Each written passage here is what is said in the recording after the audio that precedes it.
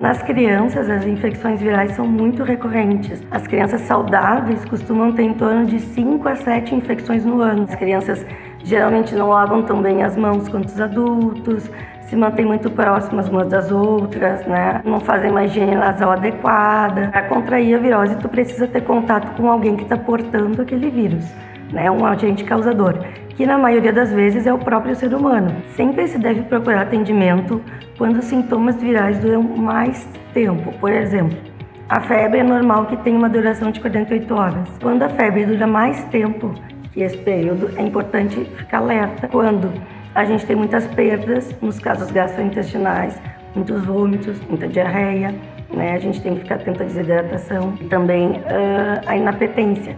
Quando a criança, no caso, não está conseguindo ingerir nenhum alimento, ou beber nenhum líquido. Eu sou Patrícia Correia de Almeida, médica pediatra e faço parte da Rede Saúde.